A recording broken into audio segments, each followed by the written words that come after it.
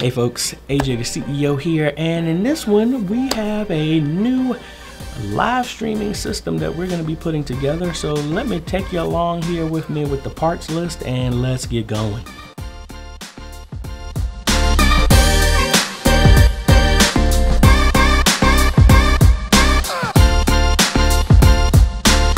Folks, AJ the CEO of the here. If this is your first time stopping by the channel, thanks for stopping by. And on this channel, we focus on tips, training, strategies, reviews, and builds to help modernize your media ministry. So if you're new here, consider subscribing. So this is going to be a build for my dad's first pastorate. Um, Chestnut Grove Baptist Church. I'm actually going to be putting this together, and this is going to be a revision to the live streaming bundle that I've talked about a long time ago. Um, I think this is honestly probably going to be the last iteration of this once I finally get my back order of the ATEM Mini whenever that decides to want to come in.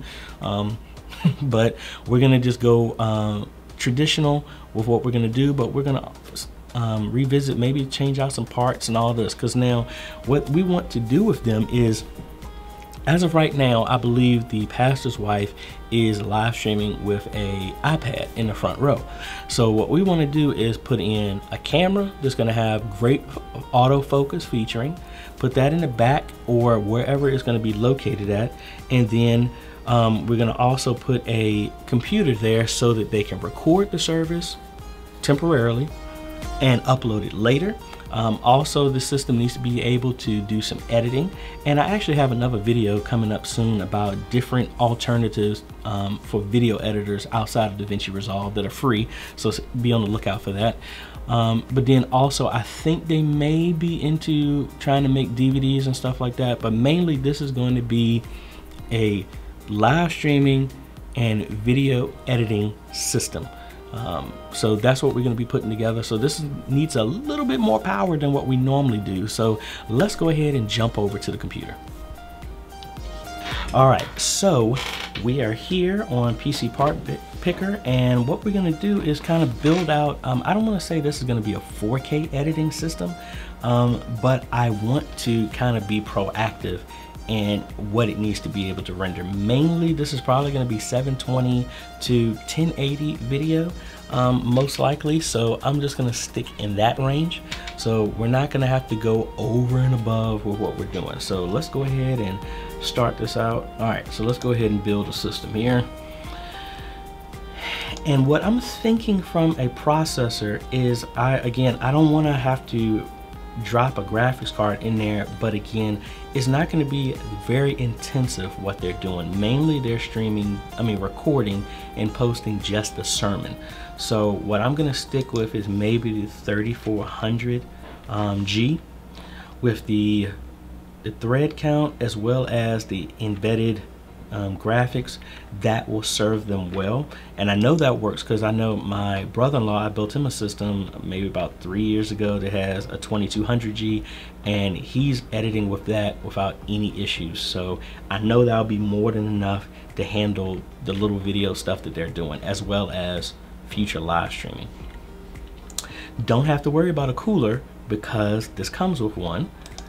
Um, and y'all already know what motherboard I'm gonna go with. I just haven't found anything that's actually um, better than that right now, and that's DS um, 3H. I actually just put another one of those in our live streaming, well actually our ProPresenter system that died. So good rock solid motherboard. And it has some extra um, PCIe 16 slots. So if I wanted to add a graphics card to it, I have the space for it, but I'm not gonna be using that right now. All right, memory, I'm gonna go with a 16 gigabyte kit. Um, Corsair is what I've been using recently. Uh, now, let me see if I can go up to 3200. Uh, see what prices we're getting on that. Okay, this is actually 67, so I'll go with this. This Corsair Vengeance LPX 16 gigabyte kit. All right, and from storage, I'm gonna use an NVMe drive and I'm gonna go with 512 as my starting. And that two. And let's see. Now I normally, I've been using the the Silicon Power, but I also use the Sabrent. Now, I could go with the Samsung, and they, I mean, I'm not gonna knock them. They're great. That's what I have in my home system. But I mean, they are a whole lot more pricey um, in comparison. So this is, I want to deliver power, but at the same time, I don't want to break the bank because I do have a budget that I have to work inside of. All right, so like this, um, this is the one terabyte, but this 512 is around $70. But the Silicon Power is what I have in my church. That is around 60. Now this 4.0, I am interested in those, but I mean, you have to actually have the system to take advantage of that. So I'm gonna go with the Silicon Power um, A80 because I've actually installed that. That's actually in one of my systems. All right. So, and then I'm going to add an additional one terabyte mechanical drive just for storage. So if they happen to be recording or something like that, they could always save their stuff there. And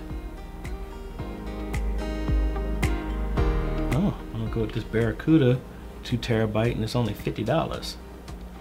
Yes, yes, we'll go with that.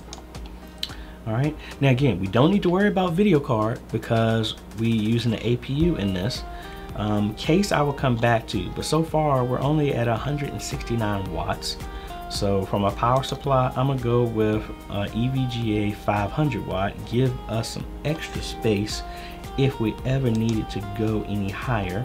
Um, I'm gonna do 80 plus, let's go for 80 plus gold and let's see what we can get and our wattage we want to be at 500 and let's sort this by price all right this is about $45 so we will go with that I don't need it to be non-modular that's perfectly fine not a big deal um, op optical drive I'm not 100% sure if they need that, but I do have a drive left over from when I redid our live streaming system. So I have another DVD drive burner. So I'm just gonna throw that in because it's just sitting here. Um, this is gonna be Windows Home and I'm still, I'm not paying this price for it. So I'm actually I'll just conclude it for right now. But if you check out my other video that I'll link up here, I'll show you how to get Windows for a cheaper price. All right, and we're also gonna go with um, software. All the software that we're using is gonna be free for video editing I'm tentatively gonna put DaVinci Resolve, but there's some other softwares that I'm still testing that I'm gonna put this on, which one I think will be easier. I'm also gonna be using, I forgot the name of it, but it's kind of like a free burn DVD burning software I'll put on there. and then we're gonna be using OBS as well. OBS is what we're gonna be using to record um, there. All right, no external drives and a monitor. The one I'm gonna use is a Sceptre monitor that is surprisingly good and it also has speakers built into it. So that saves on some extra right there and I think it is a 24 inch. Yeah this is actually it right here. All right. Now let's go to our case. I've been playing around with some Corsairs but um, my, my theme one is the Cooler Master, which I mentioned before, and that's the MB600L um, without the optical drive. So I think I'm gonna just stick with that. Like that it has a um, basement to hide all the cables, so I don't need to worry about going to a modular type of uh, power supply, which saves us on some money.